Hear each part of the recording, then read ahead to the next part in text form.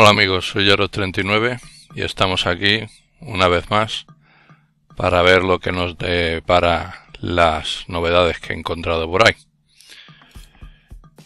Empezamos siempre aquí con mi recopilación en Evernote.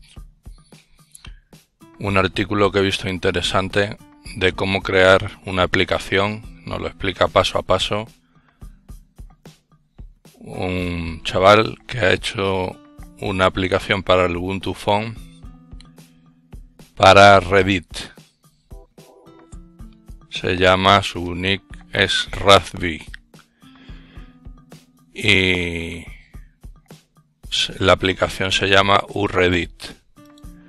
Entonces en diversas pantallas, eh, páginas, nos va enseñando paso a paso cómo ha ido elaborando la aplicación para Reddit. Aquí tengo la primera la de la construcción que explica por qué se decantó por un cliente de Reddit. Porque decidió cómo ha decidido el sistema de compilación Aquí están los las listas de código que ha ido haciendo con las que ha ido haciendo el, la aplicación. Con ejemplos gráficos como veis el lector de Reddit que es un lector de feeds de noticias Reddit y este se va a llamar UReddit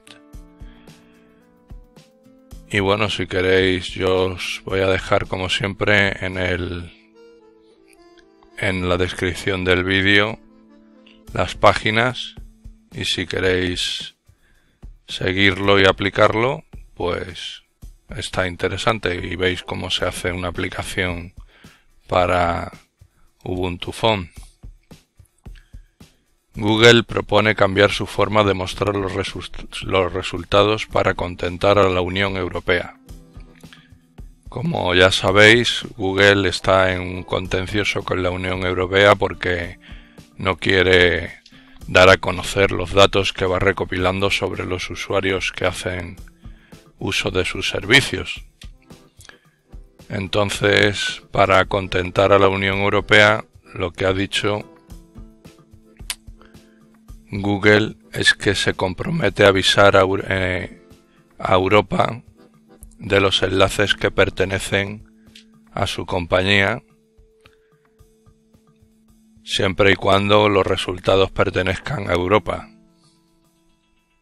No tiene por qué darle los resultados americanos, por ejemplo.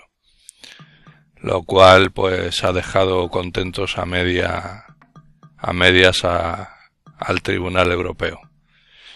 Otras propuestas son que en cuanto a los servicios de publicidad de AdWords, pues los anunciantes puedan exportar sus campañas publicitarias a otras compañías y que los dueños de los sitios web puedan eliminar hasta un 10% de su contenido indexado La Unión Europea no ha aceptado todavía estas propuestas. Esto es un borrador. Y la Unión Europea, Microsoft y otros rivales de Google siguen insistiendo que estas prácticas son anticompetitivas. Unity 7 va a tener en Ubuntu 13.04 unos cambios sutiles pero a la vez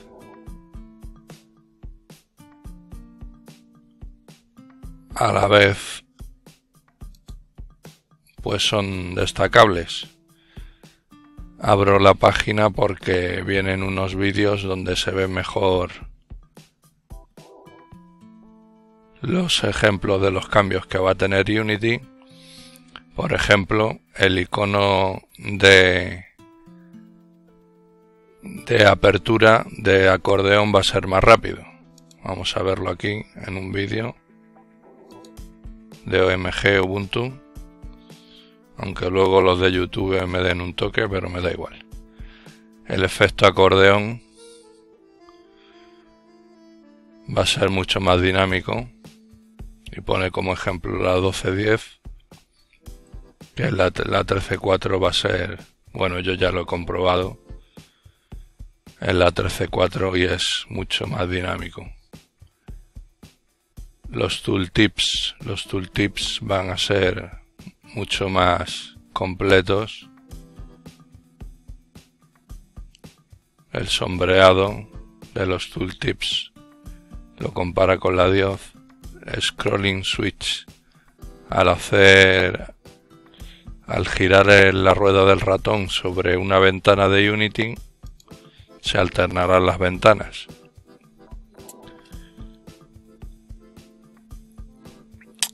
Eh, cambios en el dash Rarin ya no requiere que usted escriba los nombres de las aplicaciones letra por letra. Ahora utiliza búsqueda difusa para tratar de determinar lo que usted está probablemente buscando. Es decir, una, un autocompletado, según se escriban las primeras letras, saldrá la aplicación completa. Conmutación de desplazamiento. Pues esto vamos a ver el vídeo que es como mejor se ve.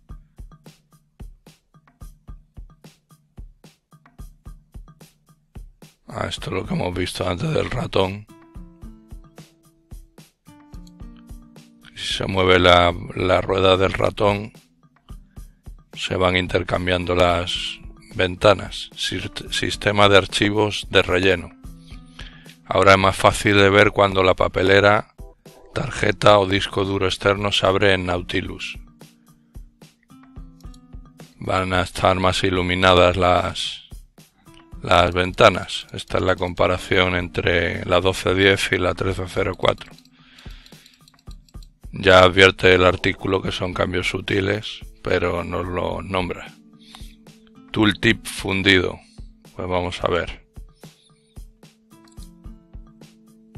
El tooltip fundido. Ah, es lo que hemos visto antes. Que hace un sombreado hace un sombreado más sutil.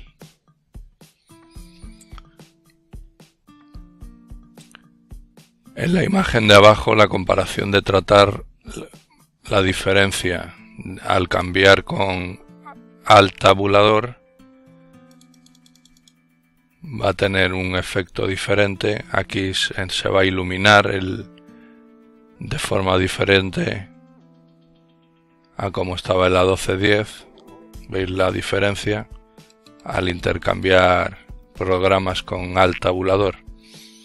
Radio dut mucha más información en el quick list cuando pinchemos con el derecho sobre el icono. Por ejemplo aquí en Mozilla pues abre en el quick list las direcciones en las que está abierta la página y estas son las novedades hasta ahora de Unity 7.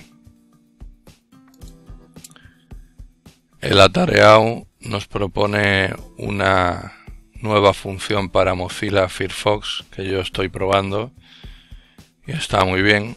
Es un complemento para Firefox basado en Breadcrumb y el complemento se llama Location Bar Enhancer Está en la página de complementos de Mozilla. Simplemente hay que darle a download, download now, Firefox, es este. Y lo que hace es, si veis, en la dirección de, de las webs, nos va creando como en Nautilus la, la línea que va siguiendo la, el enlace. no se limita a poner la dirección del único enlace, sino de las páginas anteriores, como en, en Nautilus. De manera que si queremos regresar a una anterior, aquí vemos el recorrido de la página completamente. Si queremos volver a un enlace anterior, pues simplemente tenemos que pinchar sobre él y nos devuelve a la página original. Está muy bien. Sobre eso versa el blog de hoy de la tarea. GitHub o GitHub cumple 5 años.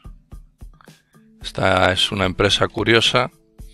Dice que mantiene la web de repositorio de código más grande del mundo con solo 158 empleados, en la, que no hay nadie que se llame jefe, ha cumplido 5 años de vida y tiene más de 3,5 millones de usuarios y 6 millones de repositorios alojados. GitHub. Un nuevo servicio para Android, WeChat, que le puede hacer la competencia a WhatsApp. Viene de China, como todo lo innovador, y aquí tenemos un ejemplo de cómo va a funcionar. Y solo tiene que extenderse, es gratuito WhatsApp, recordemos que aunque hay que pagar poco, hay que pagar algo. Y tiene todas las funcionalidades. Se puede enviar vídeos, imágenes, notas de voz, localizaciones. Tiene buena pinta en definitiva. Ya está en Google Play y como se extienda pues le va a hacer la competencia seriamente a, a WhatsApp.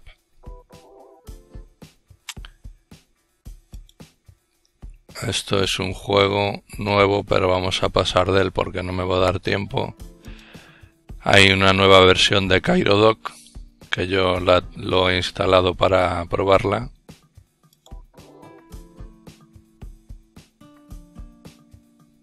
Y bueno, lo que tiene son nuevos complementos. He estado echando un vistazo, sigue siendo el CairoDoc de siempre. Pero pues tiene nuevos complementos y que se pueden aplicar y nuevos temas, aunque yo he puesto el que imita el que imita al doc de MacOS pero la verdad es que que está mejor los repositorios para instalarlo están aquí en la página os los dejaré en la descripción del vídeo junto con todo, pero están ahí. Aquí explican todos los cambios. Luego también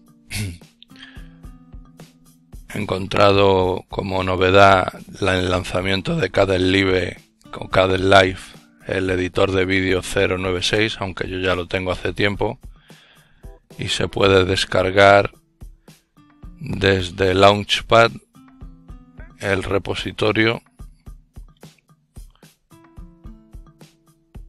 Os dejaré el enlace también para Launchpad. A ver si lo tengo por aquí.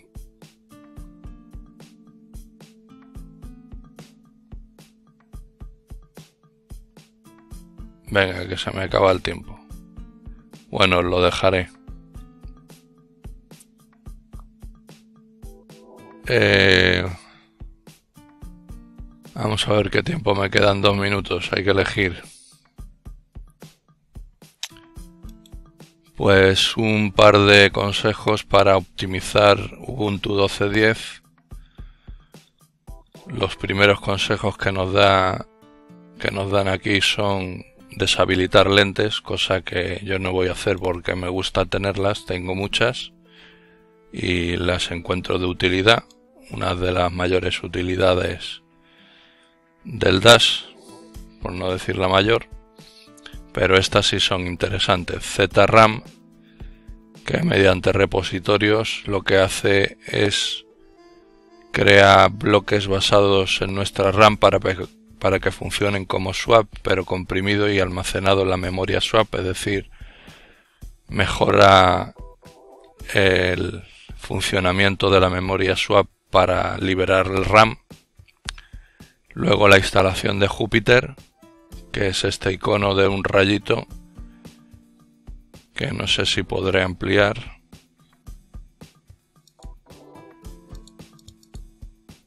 No, no, no me. La lupa no amplía en, Unity. Es un rayito que aquí hay que poner en performance, maximum performance, y va el sistema más rápido.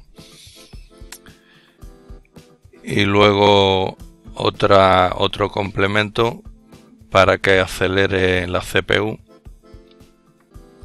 que también está interesante. Y bueno, pues nada más amigos, hasta aquí esta sesión. Va a sonar la alarma. Y un saludo y hasta el próximo vídeo amigos.